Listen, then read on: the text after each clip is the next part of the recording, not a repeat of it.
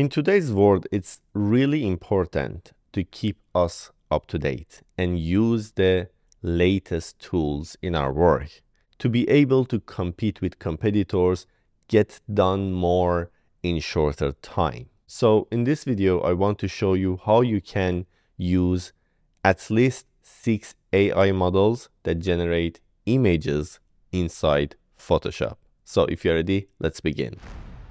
The tool we are going to talk about today is Eti Image Generator that was developed by me.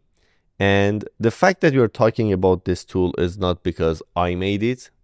It's because as much as I look at people and users purchase this product, um, they are using it in a really good way and they are they are accomplishing a lot.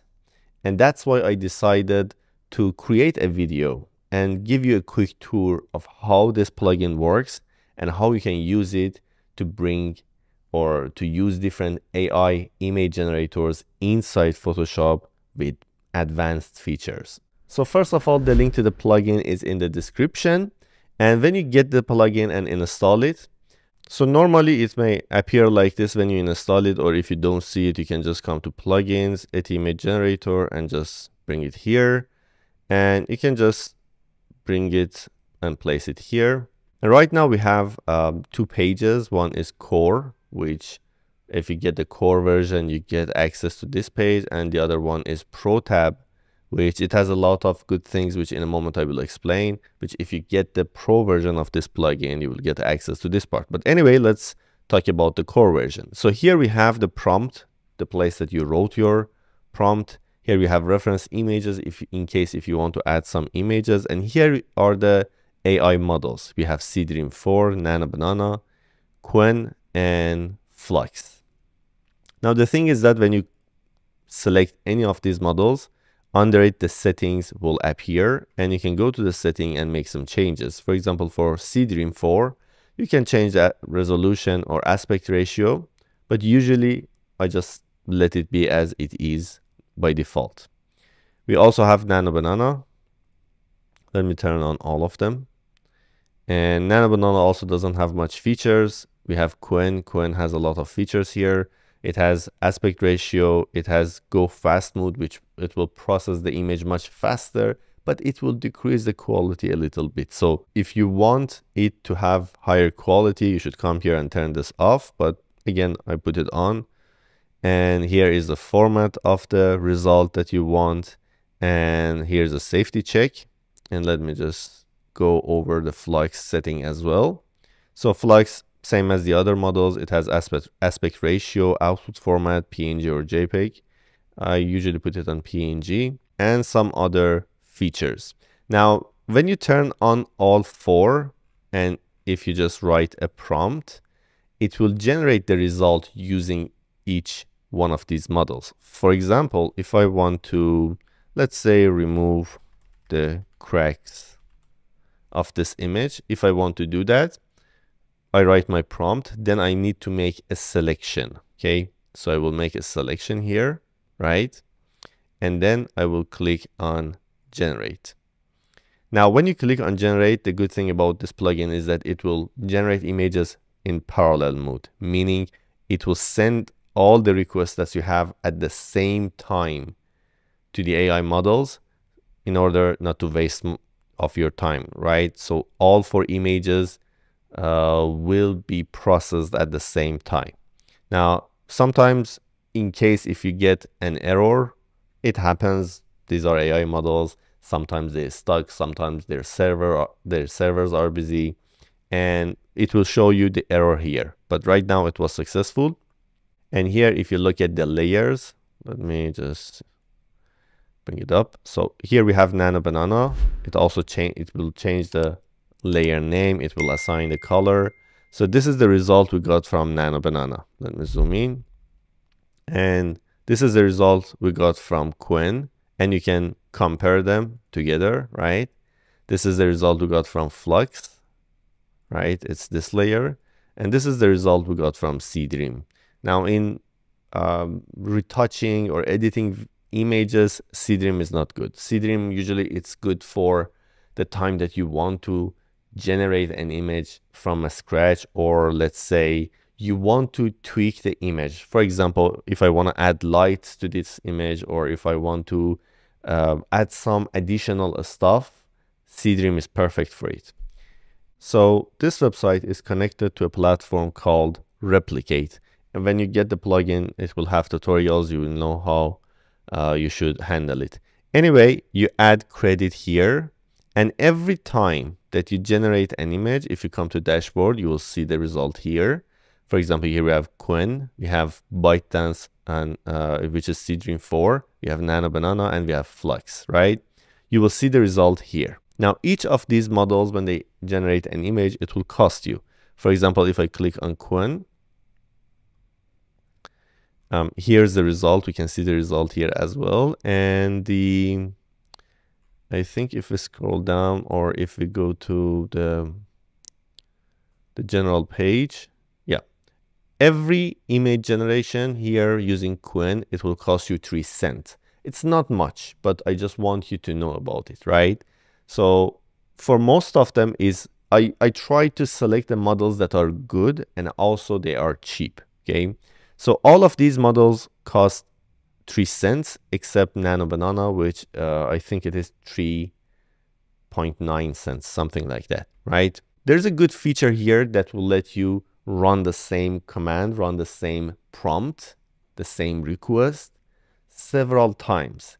And you will get different results and then you can select from those results. This way you can save more time. For example, let's say I'm gonna select the image and I'm gonna write a prompt to change the background. So I wrote down, change the background to an exciting gradient colors with effects, okay? I didn't mention what kind of colors, what colors, I just gave the result that I want. I just mentioned the feeling that I wanna get from it, okay? Now I'm gonna turn these off and you can turn them on if you want to, but I'm gonna just try it on Seedream. Now here, if you pay attention, there's a number. When we activate um, an AI model, a number appear here. If you click on this number, it will increase up to four, right? It means that when it is on four, if I click on generate, it will generate this prompt four times, but it will run it at the same time. For you, it will take the time it will take is like just one image, but it will give you four results. And it also it will cost you four times more. But anyway the good thing about it is that you get the result four times and then you can choose the best one from it right? So i'm just gonna run this. I have never tested this on an old image to change the background so let's see the result. So as you can see here it's, it's just showing you the process of generation for Seedream, right? But it's generated four times. So this is one variant, this is another variant, this is another variant, and this is another one, right? So this way, you can run a single prompt several times in a shorter time, right? And you can get the result much faster, especially if you are working on different projects and you want to just complete it uh, really fast. You can use this feature, generate multiple times, select the best one, complete it, hand off your project, get your money, right? So this was how you can use the core tab. And of course, we have a reference image here that you can just click on this plus sign. And let's say I'm just going to add, add some random image. You can add an image. It will appear here. You can add uh, more images here and then in your prompt mention them. And if you pay attention under it, it is written R2. And if you add another image, it will write down R3. Let me add another one. For example, this one. R3. It means reference 2, reference image 2, reference image 3, right? And you can mention it this way here, right? And if you don't want it, you can just close them. So generally, this is how you can use ET image generator uh, inside Photoshop. And right now we only have four models. Later, as we go forward, new models, new updates come out. I will add those AI models into this, uh, the core tab, right? And quickly, let's talk about what we have in the Pro tab. So if we come here, uh, it seems not much, but you can do a lot with them. So I'm just gonna, let's just remove all of these. Okay. Oh, let's just bring them. Why they're not deleting? Right. So this is our original image. Now let's say um, I want to remove the cracks. I want to restore the image. I want to change the color and I want to retouch it, right? So I'm just going to make my selection and I'm just going to click on these, right? And as you can see, these are all fast actions, okay? You don't need to write a prompt. You don't need to select a model, right? You just select the result that you want to get and the plugin will give it to you. That's simple. And let's say I also want to mm, upscale it, right? And here we have two different models that will upscale the image for you.